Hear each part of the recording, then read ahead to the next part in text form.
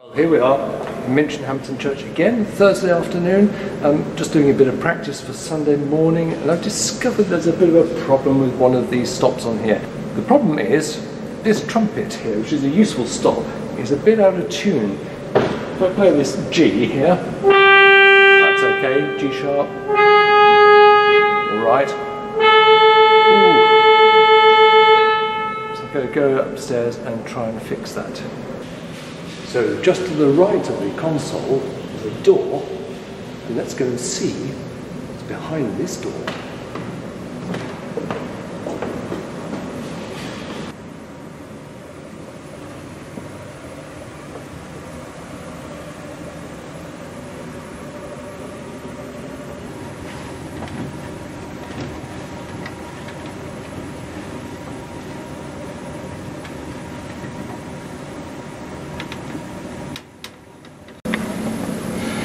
So here we are up in the organ and over to our left are the facade pipes. You can see the sunlight coming through them and then the, this is the great organ, this is the main bit um, which is divided into two halves. Got, the pipes are arranged so that they go from longest to shortest and symmetrically that way. Now the trumpet that we're wanting to fix is one of these down here.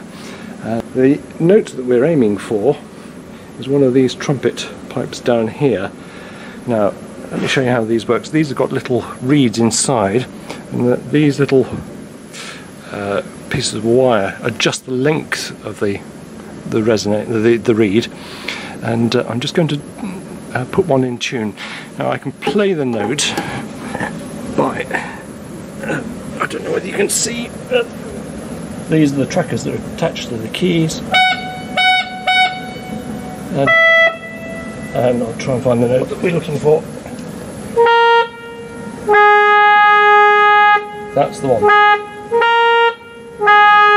And as you can hear, it's pretty loud up here because it's got to go blast all the way into the church. Anyway, I'll tune this note and then I'll uh, fix it and then play you a bit.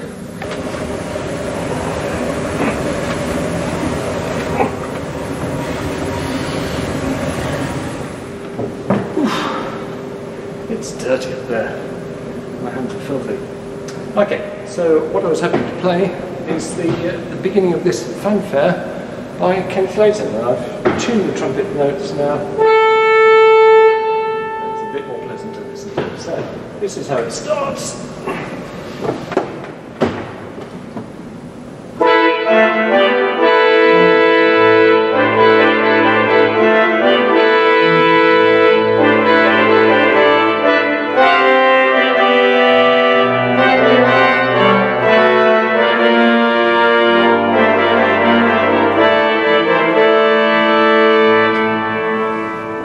The idea.